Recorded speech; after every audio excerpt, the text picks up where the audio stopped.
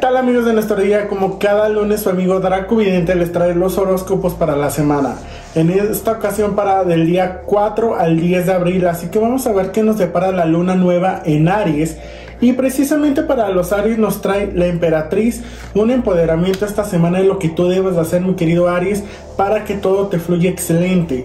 Para los Tauros nos dice que esta semana la relajación en el trabajo y en lo personal viene con fuerza, así que simplemente libérate de ataduras mentales y toma esa relajación. Para los Géminis nos sale que los problemas acaban, problemas en especial con tu pareja o con personas allegadas a lo laboral, a tu negocio o simplemente a algo escolar. Para los cáncer nos anuncia boda, nos anuncia pareja nueva o también una apertura de relación. Así que esta semana dile sí al amor. Para los Leo nos sale que el trabajo, el amor y la salud va a estar reinando esta semana. Para los Virgo nos sale que en el trabajo puedes tener un poquito de problemas, ya sea dificultades económicas, dificultades con compañeros o simplemente te vas a sentir abrumado o abrumada.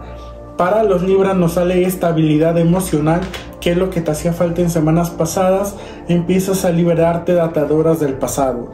Para los Escorpión nos sale que esta semana vencerás todos los obstáculos, así que dale, dale un siguiente paso a tu vida.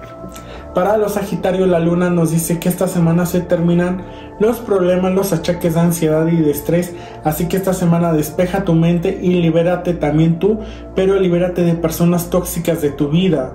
Para los Capricornio nos, da, nos dice que esta semana es un tiempo de relajación, toda la semana trata de tomarte al menos 5 minutos para que el trabajo te fluya menos, pero en el sentido de carga. El dinero viene también con fuerza y sobre todo viene un despeje mental. Para los acuarios nos dice que es un momento de alejar personas tóxicas y atraer personas positivas a tu vida.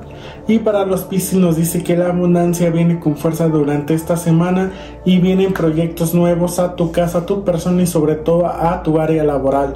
Yo soy Draco Vidente y les traje los horóscopos de la semana. Síganme en redes sociales como Cosmos Místico by Draco Vidente. Hasta la próxima.